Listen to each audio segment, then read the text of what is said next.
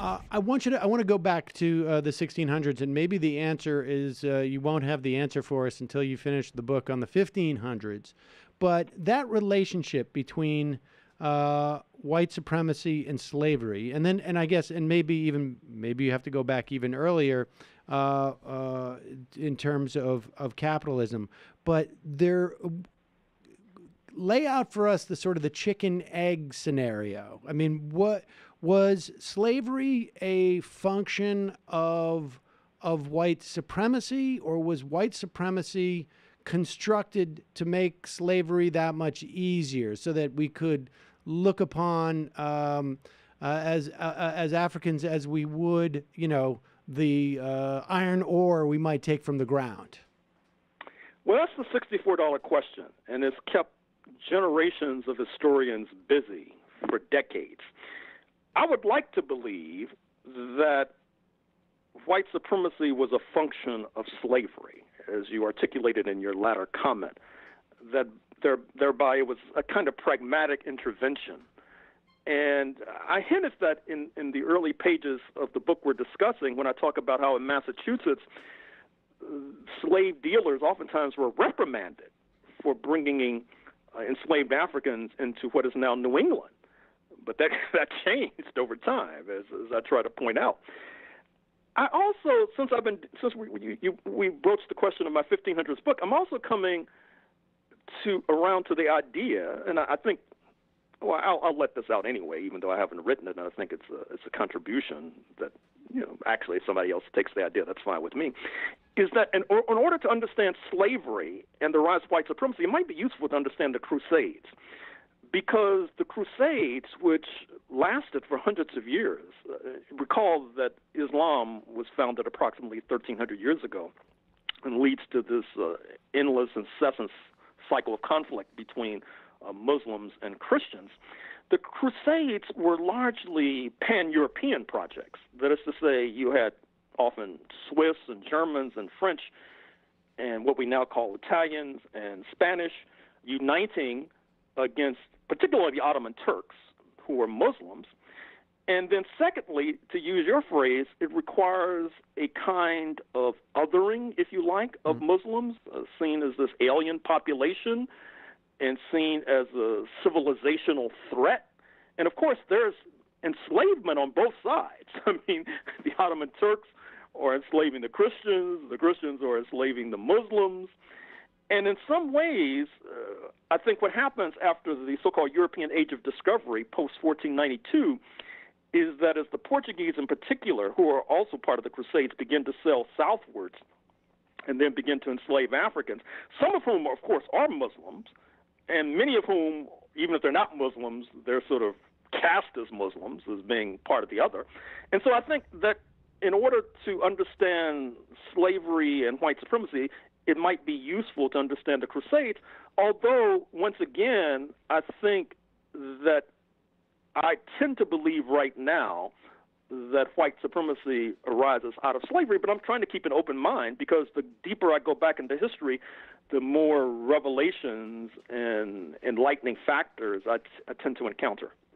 Um, and and and to what extent is I mean, um, the compulsion to enslave people a function of capitalism, or capitalism is um, uh, sort of uh, a cousin to just that compulsion on, on, on, some level?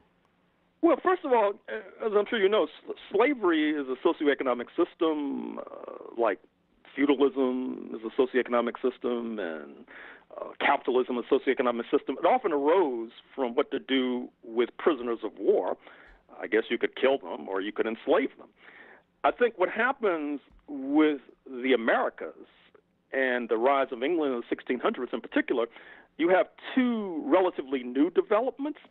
Uh, that is to say, that uh, oftentimes people were enslaved because they were thought not to believe in the correct God, for example.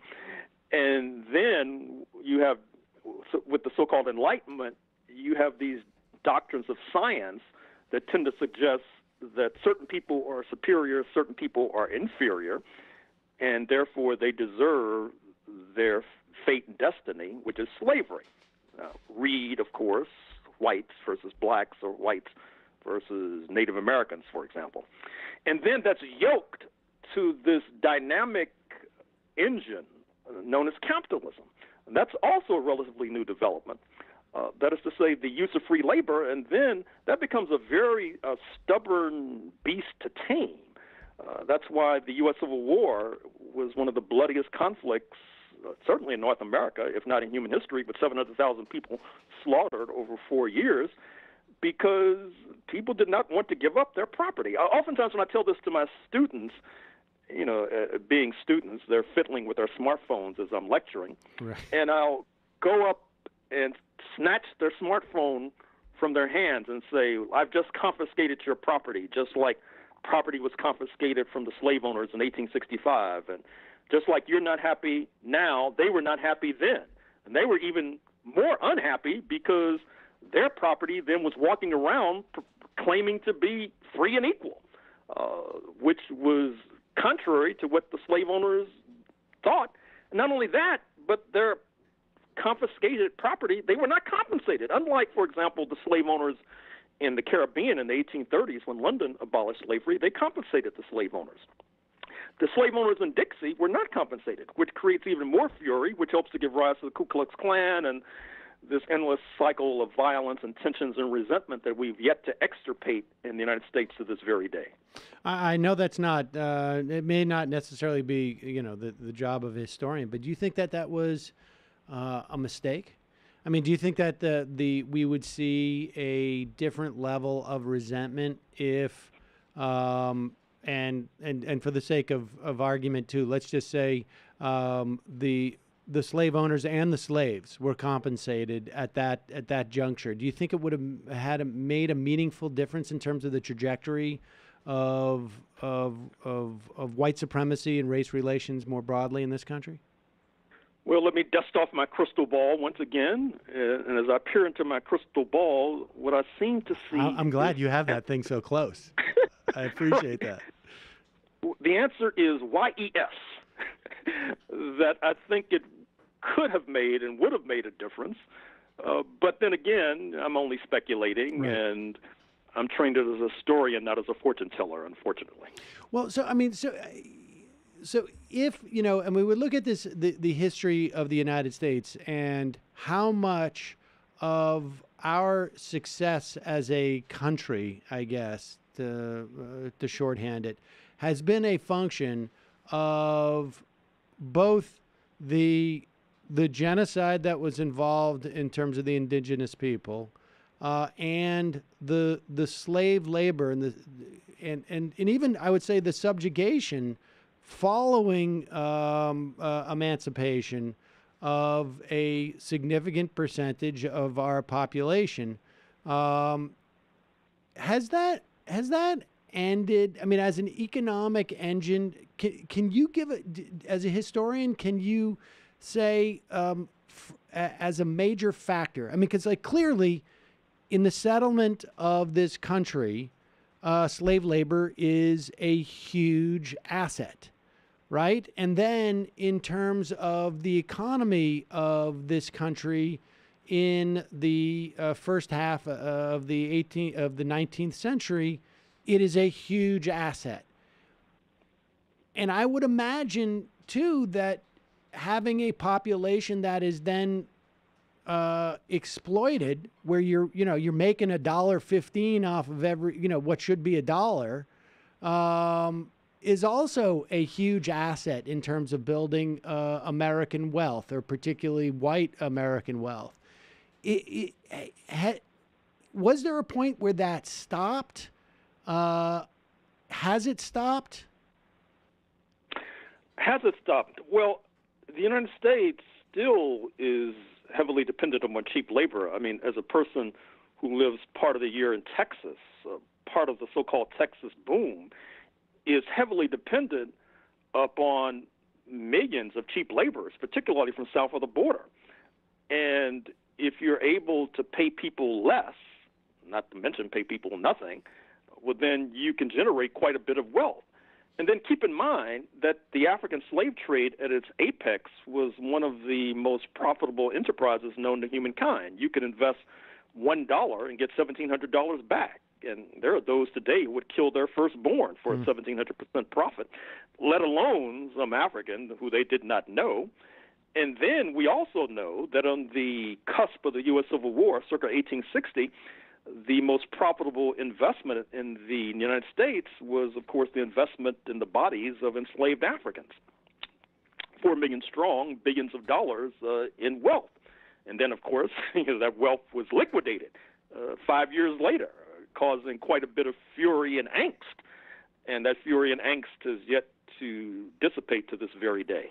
Well, but I mean, I'm saying uh, so after, um, uh, so uh, d- during Reconstruction, I imagine you have a lot of uh, former slaves who then begin to work uh, the land for sub uh, minimum wages. Um, can we track that um, that level of exploitation? At least in terms of the African American community, and can can we is there an era where that that ended, where there was some type of parity, at least, uh, or, or are, are, are we still sort of drawing uh, on that exploitation? I guess is what I'm asking. I mean, you, you I guess you, you have answered it to a certain extent with um, uh, uh, immigrant labor, but um, in terms of people who are, you know, who have citizenship, are we still is it are we still functioning that way? Or and and, and if not, is that um, can we see the implications of that? I guess. Is that question? Do you? Uh, am I clear on the question? I, I think I understand. I mean, are we still functioning that way? To a degree, yes. I mean, obviously, fortunately, slavery has been abolished, but as you know, there's a gender gap in, in terms of what men tend to earn and what women tend to earn, and that causes and compels many women to work for less, and then that means more profit for some and then there's a, a kind of racial wealth gap, which sociologists have been writing about for years, which oftentimes causes black Americans to be forced to work for less as well, and then someone is profiting at the other end from that right. kind of exploitation. So the answer, short answer to your question is parity, to use your term, no, in, in terms of racial equality, in terms of wealth, but has that uh, egregious exploitation of slavery, has it dissipated? Oh, absolutely, and fortunately. Yeah, I guess I was just trying to get at that uh, that last part that you touched upon uh, wealth. I mean, we know that the, in addition to there being a huge income uh, disparity, there's a there's a tremendous wealth disparity um, uh, between the white and black community, and a lot of that has to do with housing, which of course there's been plenty of government policies that have pre- prevented uh, African Americans from building that type of intergenerational wealth through uh, their homes, and then that is exploited because uh, you know uh, you have a higher incidence of people having uh, less intergenerational wealth and uh, need puts them in, I guess, a, a weaker bargaining position when it comes to work.